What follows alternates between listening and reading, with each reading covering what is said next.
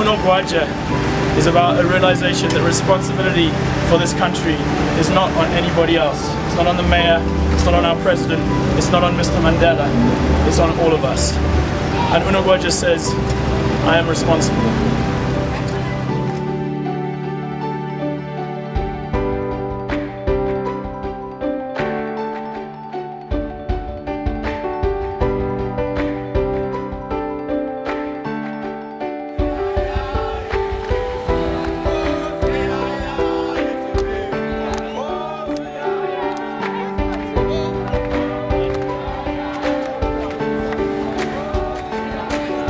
I know that in future, across this country, the word Unogwaja is going to mean something special for all of us. And what is symbolic about it is that every one of us that is here today is part of this journey. And not part of the journey from the sidelines is part of this journey. Whether we have walked across this country or whether you have interlocked hands for the last kilometer, we are part of this journey. And we need each and every one of us to take responsibility and to walk next to each other.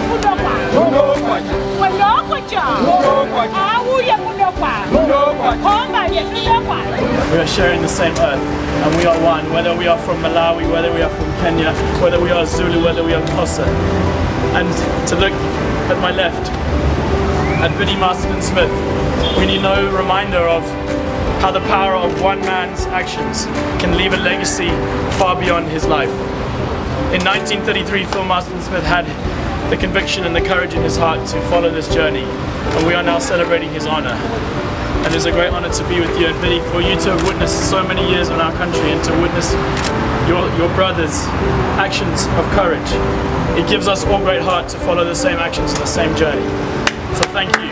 Viva Mandela! Viva Unogwaja!